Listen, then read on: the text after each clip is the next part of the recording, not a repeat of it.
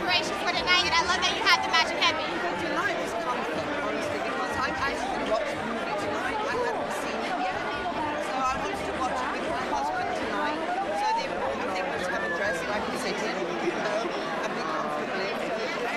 Oh, that's the trick. Yeah. Something that I love that you said is that you know you became sisters with Rachel and Lucy Liu, and you guys even went shopping and all that jazz. Tell me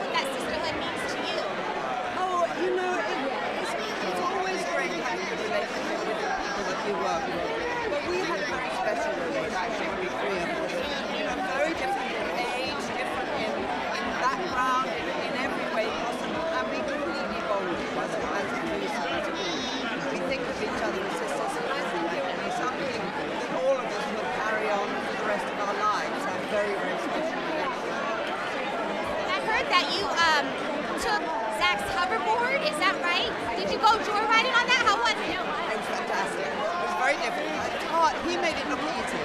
I don't know do that. It's quite difficult.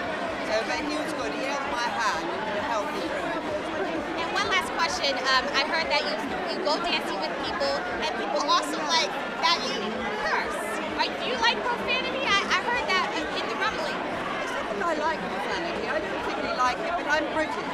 And I think in Britain we use those words more casually, more benignly, if you like. We don't really, we think of them as normal conversation. so um, I had to learn, I, had, I learned my lesson when I came to America. I